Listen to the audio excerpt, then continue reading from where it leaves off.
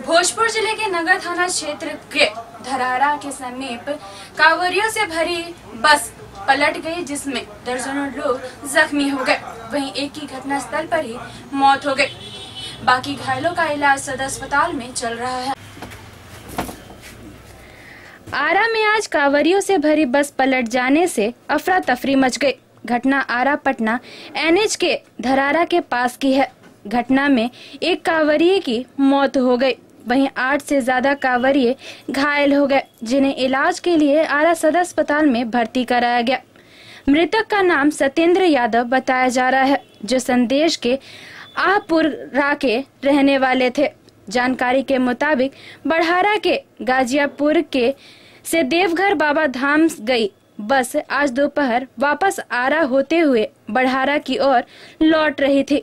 तभी धरारा के पास बस अनियंत्रित होकर सड़क किनारे गड्ढे में पलट गई, जिसके बाद आसपास के लोगों ने घायलों को बस से बाहर निकाल इलाज के लिए आरा सदर अस्पताल भिजवाया।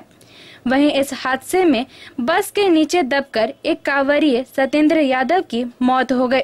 फ़िलहाल सभी घायलों का इलाज आरा सदर अस्पताल में चल रहा है।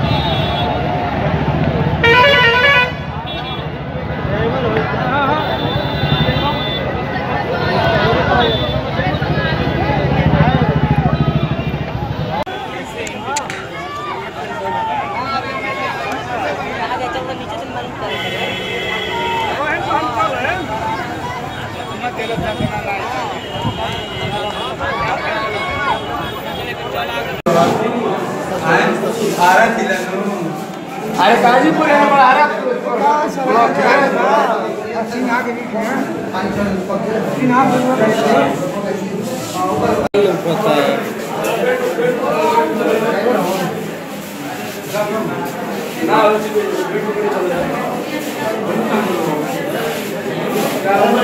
कैसे बस पलटी है बताइए क्या हुआ आपको?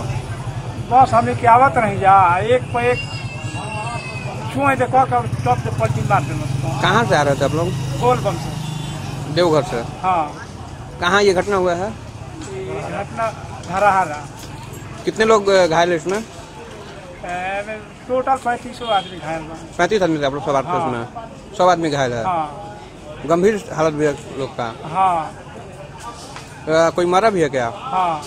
कौन मरा है? ड्राइवर। स्पॉट डेट हो गया उनका? हाँ। ठीक है। कहाँ जाना था वहाँ से? हम के आ रहा जाए करे फरहादा। राडा गजियापुर। ठीक है। आपका नाम क्या हुआ? बंदी जाते कहाँ घर आपका? फरहादा। ठीक है। बैजनाथ धाम से माने कब गए थे बैजनाथ? धाम? गए थे शनि शनिचर की। गाड़ी पकड़ ले आज उधर से लौट रहे थे। उधर से लौट रहे थे हाँ। तो सगरे से ठीक है यहाँ धरारा मोड़ पर अचानक गाड़ी पलटी मार दी। मैंने कैसे पलटी मारी? ड्राइवर कुछ ड्राइवर मालूम नहीं कैसे मार दी तो समझ में नहीं आ रहा था। एक पे अचानक हम लोग बैठे गाड़ी तेज भी चला गाड़ी तेज था। और वहाँ पर गाड़ी पूरा एकदम चला गया नीचे कितने आदमी अंदर थे उसमें? अंदर तो लमसम चालीस बैठ सके कोई मरा भी है उसमें से? एक खलासी था। अच्छा खलासी मर गया। हाँ।